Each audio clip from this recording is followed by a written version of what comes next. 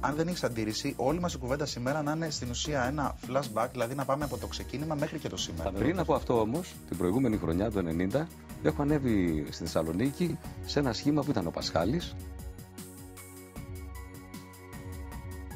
Η Δάφνη. Ένα σχήμα τέλος πάντων στο Remember, ένα πολύ ωραίο χώρο. Και εφόσον δεν πάει πια αυτό το πράγμα, το σχήμα ήταν λίγο μισερό, έρχεται ένας δημοσιογράφος του Μαρίνου και μου λέει: Αδελφέ, θέλεις να έρθεις στο ραντεβού να τραγουδήσεις κτλ. Βλέπω ότι εδώ δεν πάει καλά το πράγμα. Του λέω: Ναι, εφόσον θα κλείσει, έχουμε μάθει, δηλαδή, θα τελειώσουμε από εδώ. Και πήγα στο ραντεβού. Ε, πήγε πάρα πολύ καλά αυτό το πράγμα. Δηλαδή άρχισε να γίνεται σούσουρος στη Θεσσαλονίκη.